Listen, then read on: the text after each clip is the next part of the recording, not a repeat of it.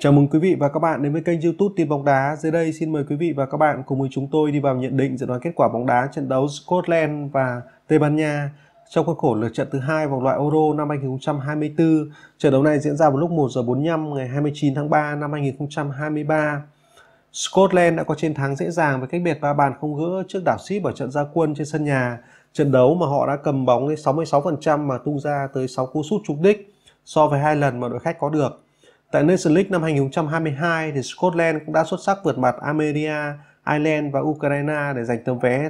lên chơi tại League A mùa sau. Trong đó họ từng đánh bại Ukraine với tỷ số 3-0 trên sân nhà, qua đó đòi được món nợ mà họ thua đối thủ này trong trận bán kết playoff tại vòng loại World Cup 2022. Trong khi đó, phía đối diện để trước đối thủ được đánh giá không tệ và có thực lực là Na Uy từ đội tuyển Tây Ban Nha phô diễn sức mạnh dù cho họ được dự báo sẽ gặp không ít khó khăn ở trận gia quân Tuy nhiên với đẳng cấp của mình thì đội bóng đến từ xứ sở bò tót đã giành chiến thắng tưng bừng với tỷ số 3-0. Ở trận đấu đó, họ hoàn toàn lấn lướt về thế trận. Những gì mà Tây Ban Nha từng thể hiện tại vòng chung kết World Cup năm 2022 là cực kỳ thất vọng, cho dù trước khi diễn ra giải đấu này, họ được đánh giá là ứng viên nặng ký cho ngôi vô địch. Cụ thể là Tây Ban Nha đã dừng bước ngay tại vòng knock-out khi để thua Maroc. Trở lại với trận đấu giữa Scotland và Tây Ban Nha, theo các nhà cái châu Âu Á thì trình độ của Scotland đã có những tiến bộ rõ rệt trong thời gian gần đây Điều đó được thể hiện rõ qua trận thắng 3-0 trước đảo Ship ở trận gia quân vừa qua, cũng như trước đó đã giành vé thăng hạng tại League A mùa sau tại Nation League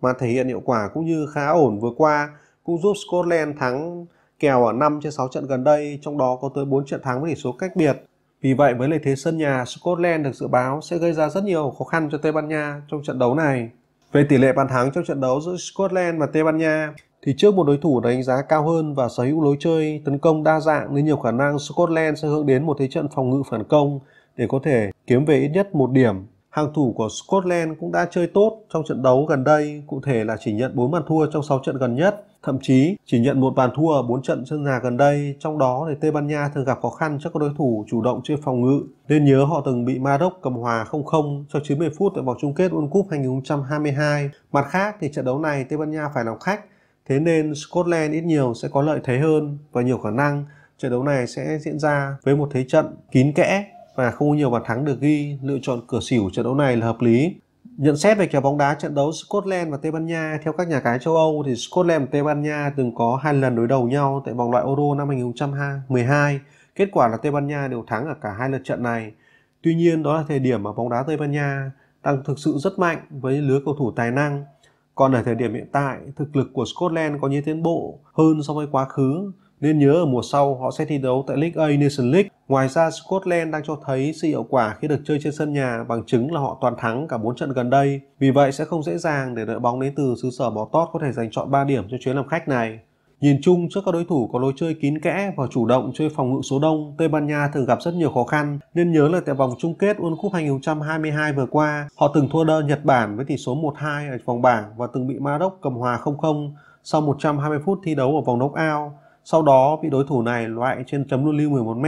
Còn với Scotland dù bị đánh giá thấp hơn nhưng với việc được chơi trên sân nhà và sự tự tin sau chiến thắng 3-0 trước đảo Ship ở ngày ra quân sẽ giúp cho Scotland có thể tạo ra những khó khăn cho Tây Ban Nha và nhiều khả năng họ sẽ kiếm về một điểm trong trận đấu này. Được biết trận đấu giữa Scotland và Tây Ban Nha trong khuôn khổ lượt trận thứ hai của vòng loại Euro 2024 sẽ diễn ra vào lúc 1 giờ 45 ngày 29 tháng 3 năm 2023. Theo bạn giữa Scotland và Tây Ban Nha thì đội bóng nào sẽ có chiến thắng? Hãy chia sẻ ý kiến, nhận định, bình luận của bạn dưới video này nhé. Đừng quên like và đăng ký kênh để ủng hộ team bóng đá. Xin cảm ơn và hẹn gặp lại.